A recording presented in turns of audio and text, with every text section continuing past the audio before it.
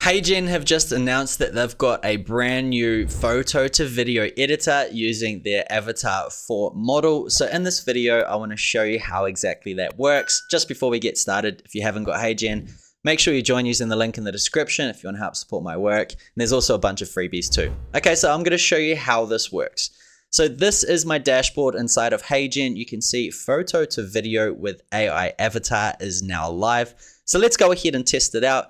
Now for this example, I've just gone and generated an image inside of ChatGPT. I've also downloaded that. So I'm just going to go ahead and drop this inside of uh, HeyGen. And inside of the script, I'm going to say, I am the new AI um, photo to video editor using Avatar 4. Okay. And um, what do you think?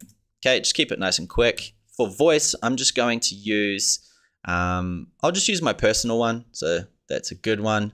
And let's go ahead and generate video. And you've got the two options there, portrait or landscape too. So that's pretty cool. So let's see how long this actually takes to complete. Okay, so I was in the queue for probably 30 seconds. This feature, I believe, is just launched today. So I probably, there's probably going to be a little bit of waiting. Five seconds though, it took realistically about a minute 15. So let's go and actually check out this new photo to video. So this is it, and this is basically the result.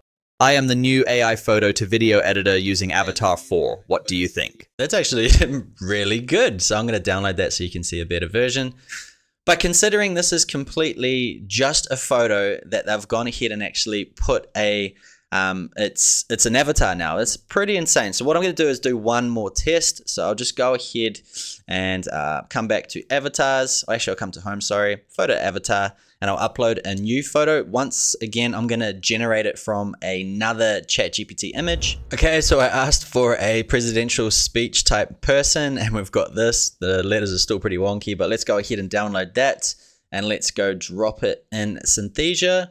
And inside here, what I'm going to say is Man, I love giving speeches. It makes me feel like a champion and like I matter in the world. Let's go ahead and choose uh, a different voice this time. I'll just choose, uh, these are all my voices, so I'll just choose Theo. Sounds pretty good. Let's go ahead and generate the video and see how long it takes. This time I actually might choose, uh, no, I'll go back to that. Okay, let's see how long it takes. Okay, so that took around 2 minutes 10 this time. There was no waiting in queue. So let's go ahead and actually check out what it looks like. So this is going to be pretty interesting. Man, I love giving speeches. It makes me feel like a champion and like I matter in the world. yes, that's pretty funny.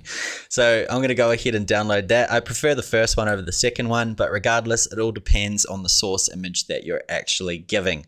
So this is pretty cool, such a novelty tool. So if you want to make your photos come to life, then HeyGen's new photo to video tool is pretty dang insane.